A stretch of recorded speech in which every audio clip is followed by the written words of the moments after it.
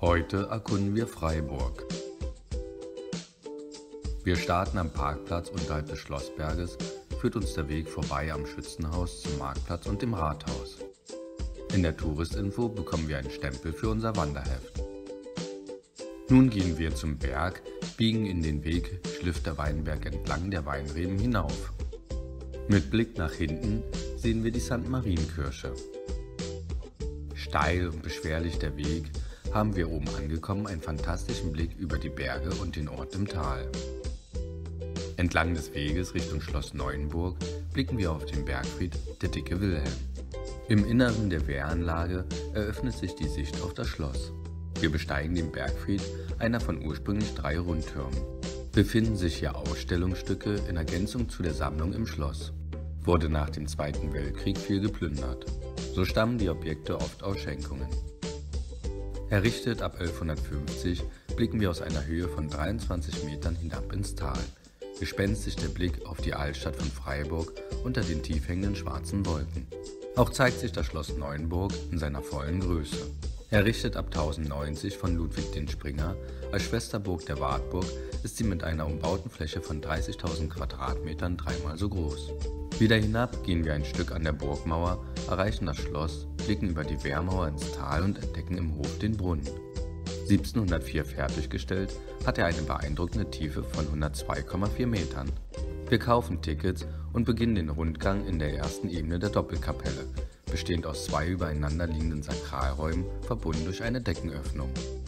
Die Ausstellung im Schloss erklärt die Geschichte des Adelsgeschlechtes und die der Entstehung und dem Bau des Schlosses stehen hier weniger einzelne Ausstellungsstücke als die Beschreibung der baulichen Veränderung jeden Bereiches im Vordergrund.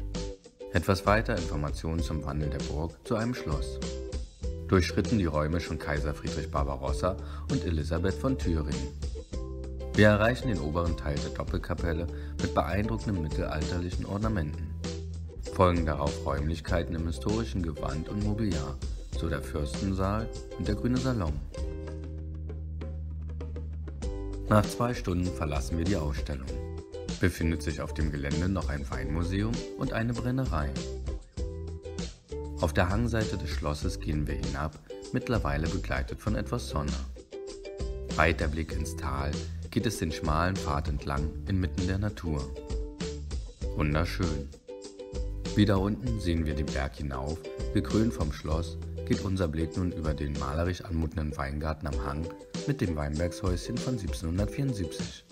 Haben manche Weinstücke ein beachtliches Alter von über 90 Jahren. Den Weg entlang Richtung Altstadt passieren wir die Mühle, an der Unstrut gelegen, stand an dieser Stelle die erste Mühle schon Ende des 11. Jahrhunderts. Dient sie heute der Gewinnung von Wasserkraft. Sogar an eine Fischtreppe wurde gedacht. Wir gelangen an die Stadtmauer und die Napoleonpforte, die Napoleon 1813 durchschritt existiert sie leider nicht mehr. Schon erstaunlich die noch stehende Stadtmauer. Setzt grad Regen ein.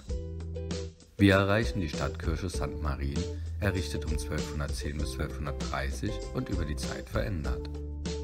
Auffallend aufwendig das Netzgewölbe der Decke und der Altar. Sind die Kreuzungspunkte des Deckennetzes zum Beispiel gestaltet mit dem Abbild Jesus Christus oder einer Kreuzigungsgruppe. Wieder hinaus erstrahlt die Sonne mit Blick auf den Weinberg, zu dessen Füßen die Kirche in voller Größe vor uns. Etwas weiter das Kirchtor markieren Pfeiler den einstigen Standort. Ein kleiner Durchgang ist erhalten. Die Stadtmauer war einst 1200 Meter lang. Passieren wir nun den noch erhaltenen Teil des Eckstädter Tores.